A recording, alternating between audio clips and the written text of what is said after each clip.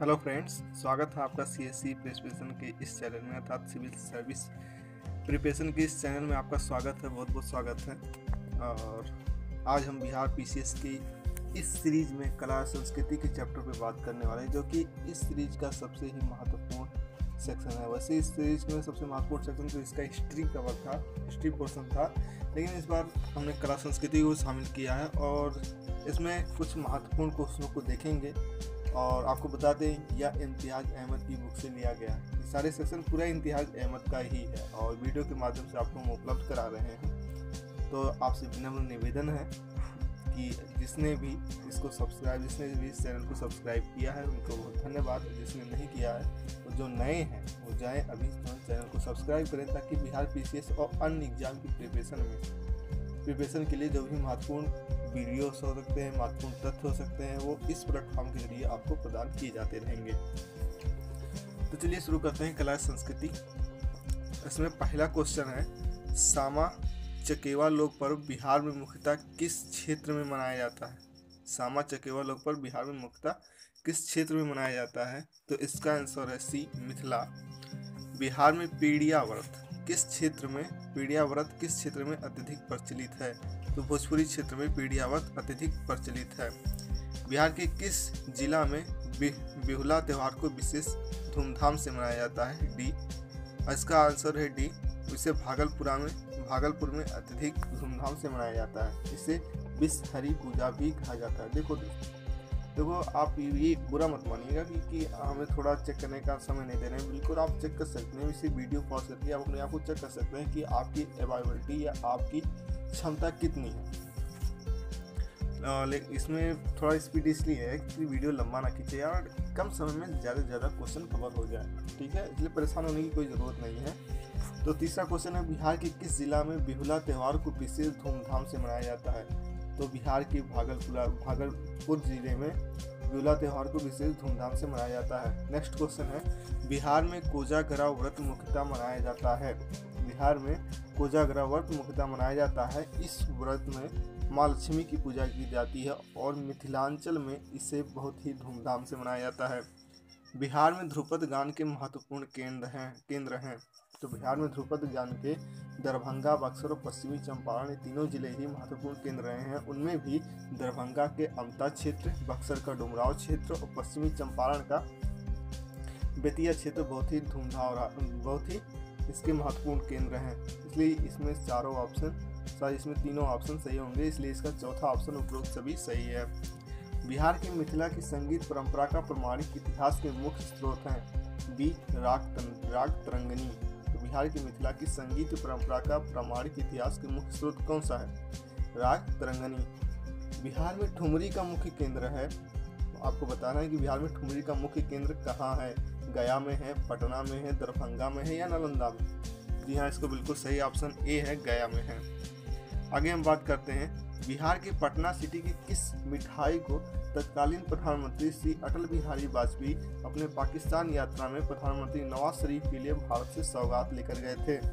जी हाँ बिल्कुल सही ऑप्शन इसका डी, खुरचन अर्थात हमारे तत्कालीन प्रधानमंत्री अटल बिहारी वाजपेयी जिसमें उन्होंने तो उस समय बस सेवा शुरू की थी, जो कि भारत से लेके भारत और पाकिस्तान को जोड़ने भारत और पाकिस्तान के बीच चलाई गई थी। उसमें उन्होंने नवाज़ शरीफ के लिए ये एक मिठाई लेकर गए थे, खुरचन।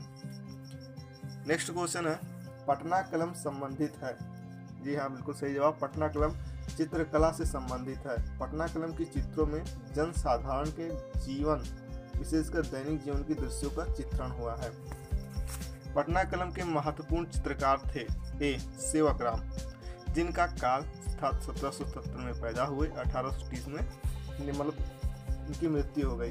सत्रह सौ सत्तर से अठारह सौ तीस में इनका जीवन काल जीवन काल रहा। तो ये पटना कलम के महत्वपूर्ण चित्रकार थे। पटना कलम शैली से संबंधित चित्रकार है। उल्लास लाल जयराम दास शिव दयाल एवं श्री प्रसाद। ये तीनों ही पटना कलम शैली से संबंधित चित्रकार रहे हैं। इसलिए उपयुक्त सभी इसका सही आंसर होगा। पटना कलम चित्रकला शैली संबंधित है। पटना कलम चित्रकला शैली किससे संबंधित है? जी हाँ ए, परिवर्ती मुगल काल से। पटना कलम का चित्र अधिकतर कागज़ और कहीं कहीं हाथी दांत पर बनाया गया है और यह परिवर्ती मुगल काल से संबंधित है। नेक्स्ट क्वेश्चन है तेरह नेक्स्ट क्वेश्चन तेरहवा क्वेश्चन है, मधुबनी चित्रकला का संबंध किस राज्य से है? जी हाँ बिल्कुल सही जवाब। इसका संबंध बिहार से है। हाल ही में कोई स्टेशन है जहाँ पर मधुबनी नाम का कोई स्टेशन, मधुबनी के नाम पे ही स्टेशन था, जहाँ के स्टेशन का मतलब उसके सौंदर्यकरण किया गया है। ये करंट अफेयर भी है, याद रखिएगा इस स्टेशन को। और नेक्स्ट चौदहवा, मधुबनी चित्रकला के संबंध में कौन सा कथन सही है? मधुबनी के कथन, मधुबनी चित्रकला के संबंध में कौन सा कथन सही है? क्या यह लोक कला है? या इसमें महिलाओं की ही पूर्ण भूमिका रही है? या ऑप्शन सी है, यह चित्र दो प्रकार के होते हैं, भित्ति चित्र और आरिपन। क्या यह सही है? वास्तव में आप बताइए। तो भैया आंसर साहब के हिसाब से तो इसमें डी उपयोग सभी अर्थात उपयुक्त जो तीनों विकल्प हैं, या लोक कला है, इसमें महिलाओं की ही पूर्ण भूमिका रही है, या यह चित्र दो प्रकार के होते हैं, भित्ति चित्र और आरिपन तो यह तीनों ही सही है। इसलिए ऑप्शन डी सही है। पंद्रहवा देखते हैं। मधुबनी चित्रकला के महत्वपूर्ण प्रतिनिधि या कलाकार रहे हैं। कौशल्या देवी, जी हाँ बिल्कुल रही हैं। सिया देवी, ये भी रही हैं। शशिकला देवी, ये भी रही हैं। तो उपयुक्त सही, उपयुक्त सभी ऑप्शन सही होगा। बिहार प्राचीन बिहार में महात्मा बुद्ध के समय गायिकाओं एवं नर्तकियों की उपस्थिति के साक्ष्य मिले हैं। तो उपयुक्त ए और बी दोनों से। अर्थात राजगीर से भी और वैशाली से भी प्राचीन बिहार में महात्मा बुद्ध के समय गायिकाओं एवं नर्तकियों की उपस्थिति के साक्ष्य मिले हैं। क्वेश्चन सत्रहवा है। बिहार का सर्वाधिक महत्वपूर्ण त्यौहार कौन सा है? छठ, सरहुल, जीतिया और तीज। वो लोग तो अच्छी तरह से जानते होंगे जो बाहर रहकर कोचिंगों में अपनी तैयारी कर रहे होंगे क्योंकि उन्हें छठ पूजा के लिए छुट्टी तो मिलती है तो यह बिहार का क्षेत्रीय त्यौहार है। इस अवसर पर सूर्यदेव की पूजा होती है और यह बिहार का सर्वाधिक महत्वपूर्ण त्यौहार है, छठ क्वेश्चन अठारहवा है। मधुश्रावणी और विशेष रूप से मधुश्रावणी पर्व विशेष रूप से मनाया जाता है। नालंदा में। जी हाँ बिल्कुल सही जवाब। उत्तर डी सॉरी उत्तर डी है मिथिलांचल में। इसके लिए क्षमा चाहते हैं, जल्दबाजी में मुँह से निकल गया। तो मधुश्रावणी पर्व विशेष रूप से कहाँ मनाया जाता है? मिथिलांचल में मनाया जाता है। सौराठ सभा मेला कहाँ आयोजित होता है? ऑप्शन ए, मिथिलांचल में। सौराठ सभा मेला कहाँ आयोजित होता है? मिथिलांचल में आयोजित होता है। यह शादी ब्याह से संबंधित मेला है, जो आषाढ़ महीने के अंतिम में मनाया जाता है। देखिए, ये बहुत ही इम्पोर्टेंट क्वेश्चन है। मतलब कला संस्कृति से जितने सारे क्वेश्चन बन सकते थे, उतने बनाने की कोशिश की गई है। इसलिए आप इसे छोड़ेगा नहीं वीडियो को अंत तक देखते रहिए। नहीं है, बीच में गायब हो जाए और बाद में क्लेम कीजिए कि हाँ आपने कला संस्कृति से कब टॉपिक कवर किए थे, उससे क्वेश्चन नहीं आए। तो ऐसा दोस्त मत लगाइएगा क्योंकि आपने वीडियो अंत तक नहीं देखा है। इसलिए कृपया अंत तक देखिए। बीस, बीसवा क्वेश्चन है। वैशाली का मेला जो चैत्र शुक्ल के त्रयोदशी को आयोजित की जाती है, किससे संबंधित है? यह मेला महावीर के जन्म स्थली वैशाली में आयोजित होती है और यह जैन धर्मावलंबियों से संबंधित है तथा यह जैन धर्म से संबंधित है। हरिहर क्षेत्र का मेला या सोनपुर का मेला आयोजित किया जाता है। गंगा गंडक के संगम पर या सोन गंगा के संगम पर, निरंजना नदी के पास या कोसी घाघरा के संगम पर। जी हाँ बिल्कुल सही जवाब इसका है ऑप्शन सी। गंगा, गंडक के संगम पर। यह भारत का सबसे बड़ा पशु मेला है। यह सारण ज़िले के सोनपुर में आयोजित किया जाता है। फिर अगला क्वेश्चन है बाईसवा। पटना कलेक्ट्री और पटना कॉलेज के भवन किस शैली से प्रभावित है? बी हॉलैंड से डच से प्रभावित है। पटना कलेक्ट्री और पटना कॉलेज की जो भवन है, वह हॉलैंड से प्रभावित हैं। हॉलैंड शैली से प्रभावित है उनकी शैली से प्रभावित है। और ध्यान रखने वाली बात है कि पटना में सॉरी बिहार में सबसे पहले कौन आए? ये आपके लिए टास्क है। इसका जवाब अगले वीडियो में बता दिया जाएगा कि बिहार में आने वाली यूरोपीय कंपनियों में से सबसे पहले कौन सी कंपनी बिहार में आई? भारत में तो सभी जानते हैं कौन आई।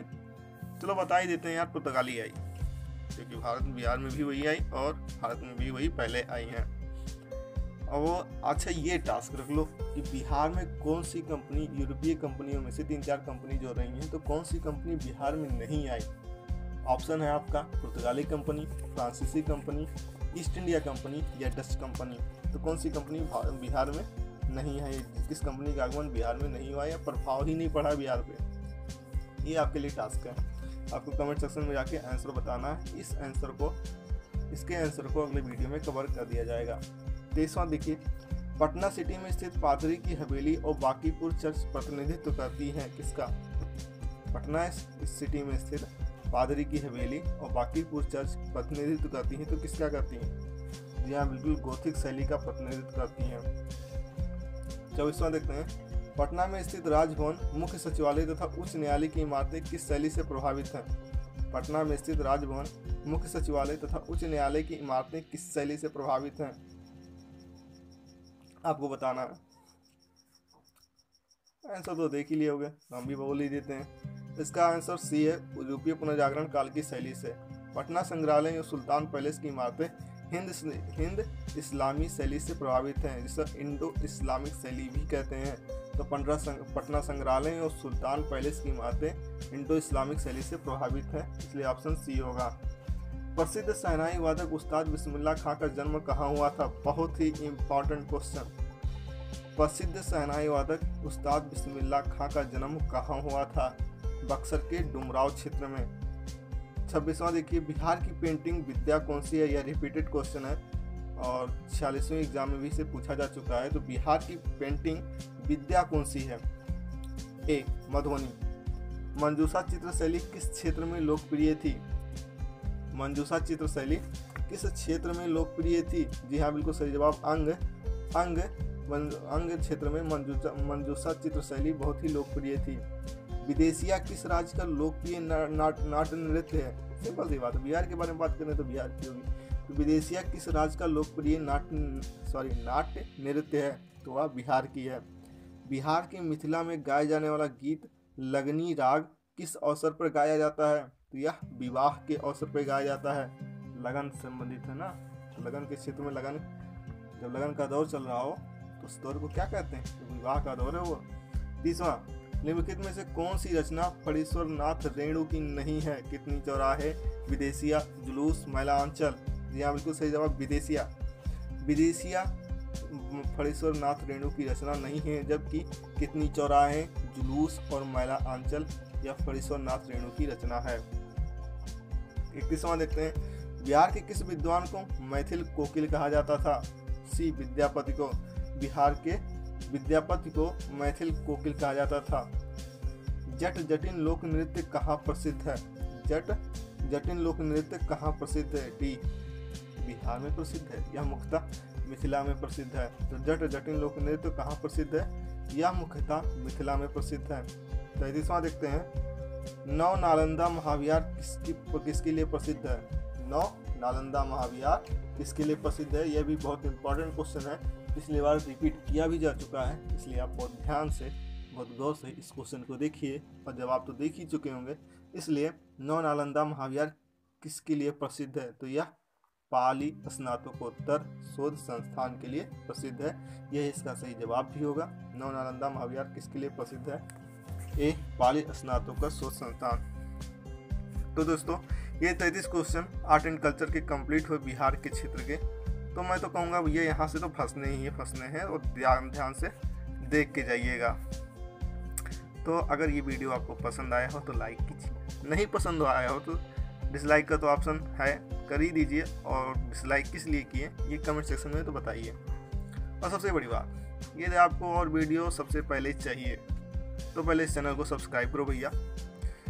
क्यों यारी भैया? भोजपुरिया भैया। हाँ सब्सक्राइब करो। इस चैनल को सब्सक्राइब कीजिए और मिलते हैं नई वीडियो के साथ अगली बार। और बताओ यार कमेंट सेक्शन में जाके यार कि कौन सी वीडियो किस टॉपिक पे चाहिए? हमें पता नहीं चल पाता ना। रिस्पांस नहीं मिलता कि किस क्षेत्र के लिए आपको वीडियो चाहिए। और हम रैंडमली बनाते चले जाते हैं। अगर यार आप बना, बताते रहो यार तो हम उस स्पेशल क्राइटेरिया पर वीडियो बनाकर आप तो आप लोगों तक पहुंचाते रहे। ऐसे गुम तो मत बनो यार। फ्री की वीडियो मिल रही कुछ तो रिस्पॉन्स करो।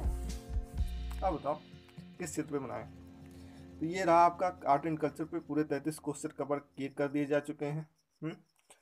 अगली बार जो वीडियो लाने जो वीडियो आएगा वो कमेंट सेक्शन में जिस टॉपिक बताया गया होगा भैया उसी पे आने वाला है। तो भैया इस चैनल को सब्सक्राइब करो कैसे कह दे रहे हैं। क्या करो? सब्सक्राइब करो लाइक करो एंड शेयर करो। दोस्तों की बताओ इस बार की तो परीक्षा के लिए इम्पोर्टेंट तो है ही। बाकी और भी जो परीक्षाएँ हैं, जैसे बी ट्रिपल एस सी हो गया, उनके लिए। और भी कई सारी सभी परीक्षाओं के लिए बिहार के लिए जितनी परीक्षाएँ हो रही हैं, उनके लिए तो बहुत ही इम्पोर्टेंट है। चौसठवीं से लेकर जितनी अन्य आने वाली हैं, आगे की उनके लिए भी इम्पोर्टेंट है। तो सभी के लिए इम्पोर्टेंट है। और इतना सब कवर कर दिया गया भैया, धन्यवाद। इतनी देर तक देखने के लिए आप लोगों को। मिलते हैं नेक्स्ट वीडियो में। जय हिंद जय भारत जय बिहार।